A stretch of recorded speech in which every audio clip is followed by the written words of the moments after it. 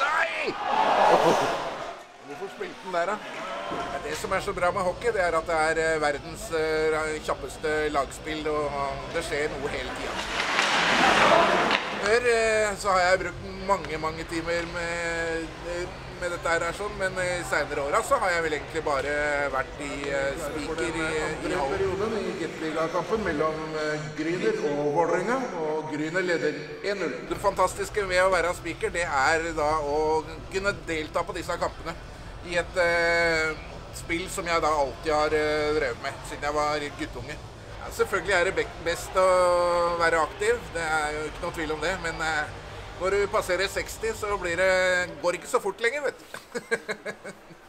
En god spiker sørger for eh, entusiasme for eh, hjemmelaget. Og hjemmelaget er Grüner Gryner hockey.